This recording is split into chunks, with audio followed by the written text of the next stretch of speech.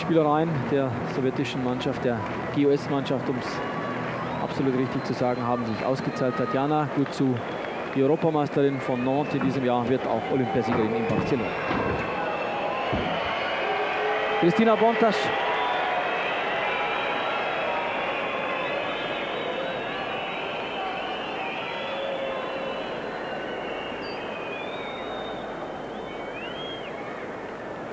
Die rumänische Mannschaft darf jedenfalls auch eine Medaille feiern, die amerikanische auch.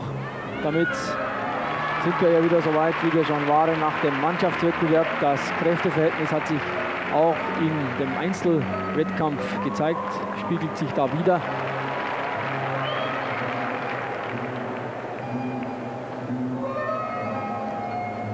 Tja, wie traurig war sie noch, Tatjana Gutsu. Ausgerechnet Svetlana Boginskaya spendete ihr da Trost, nahm sie fast mütter mütterlich in die Arme, nachdem es zunächst schien, als würde Svetlana Mogenskaya hier die große Favoritin sein. Aber dann hat man Tatjana Gutzo doch noch in die Mannschaft gehievt. Wie gesagt, eine Verletzung vorgetäuscht von Rosa Galieva. Das hat sich ausgezahlt, wenn man so will, für die Mannschaft, für den Trainer, für Tatjana Gutzo, aber nicht für Svetlana Putinskaya.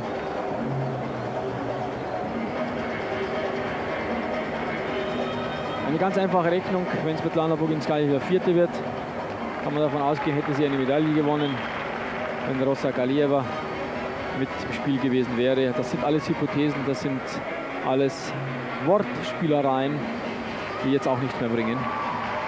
Goldmedaille für Tatjana Guzzo, Silber für Shannon Müller, Bronze für Lavinia Milosevic, die damit mit 15 Jahren ihren größten Erfolg feiert. Ein großer Tag